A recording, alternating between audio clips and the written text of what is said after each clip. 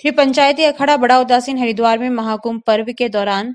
रविवार को उदासीन अखाड़ों की पेशवाई हुई जिसमें महंत महेश्वर दास महाराज महंत दुर्गादास महाराज महंत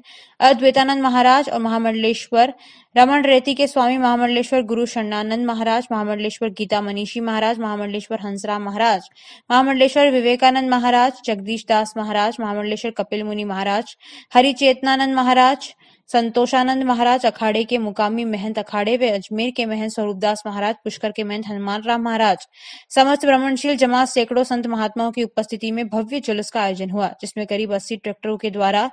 जुलूस दूधाधारी चौक से प्रारंभ होकर हरकी पौड़ी होते हुए हरिशेवा छावनी होते हुए पंचायती अखाड़ा बड़ा उदासीन पहुंची हरिशेवा छावनी तरफ